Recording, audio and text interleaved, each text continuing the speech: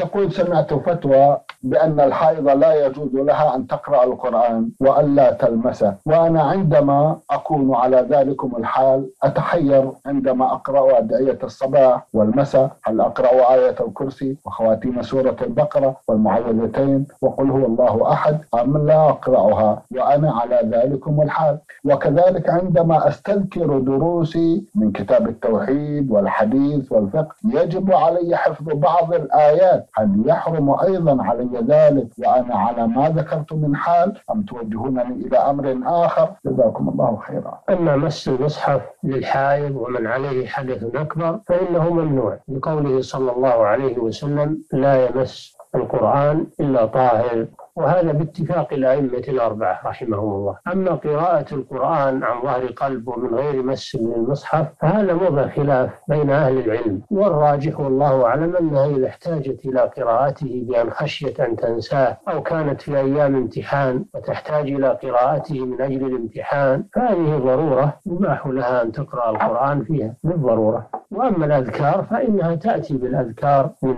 تسبيح والتهليل والتكبير والتعوذات ولو كانت مما يوافق لفظ القرآن إذا لم تقصد بذلك التلاوة وإنما قصدت بذلك الذكر الأدعية التي توافق ألفاظ القرآن إذا قرأتها الحائض أو من عليه حدث أكبر بنية الذكر أو الورد لا بنية التلاوة فلا حرج في ذلك إن شاء الله